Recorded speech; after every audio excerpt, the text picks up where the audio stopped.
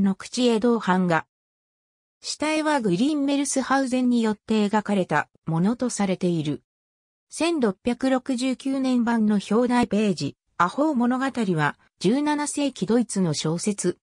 作者はハンス・ヤーコプ・クリストフェル・フォン・グリンメルスハウゼン。現代は冒険者ジンプリチシムスの意。17世紀ドイツを代表する民衆小説であり、当時のベストセラーであるばかりでなく、ドイツバロック小説の中では、ほぼ唯一現在も読み継がれている作品である。初版は1668年に五巻本が出版されたが現存していない。初版が好評を得たため翌年に再刊された。この出版も五巻本で、著者名はゲルマン・シュライフハイム・フォン・ズルスフォールトという変名が用いられた。同1669年に初版を定本に第6巻を追加し再刊されたが、著者名はこれも変名のザームエル・グライフェンゾーン・フォン、ヒルシュフェルト。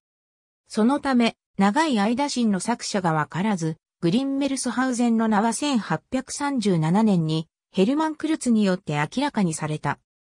手塚富夫は、この作品に関しドイツ小説史において特別の意義を持ち、パルチファルから本書を経て、ウィーランドのアガトーン、ゲーテのウィルヘルム・マイステル、ケラーの緑のハインリヒへと続く伝統的な教養小説の範疇に属するものである、と述べている。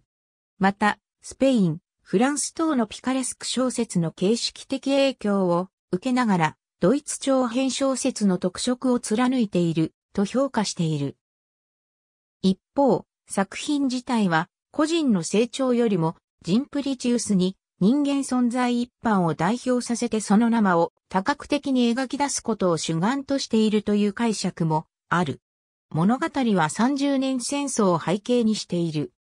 山村に育った主人公は10歳の時、戦争の余波で村が襲われたために逃げ出して孤児となり森の奥で置いた忍者に拾われる。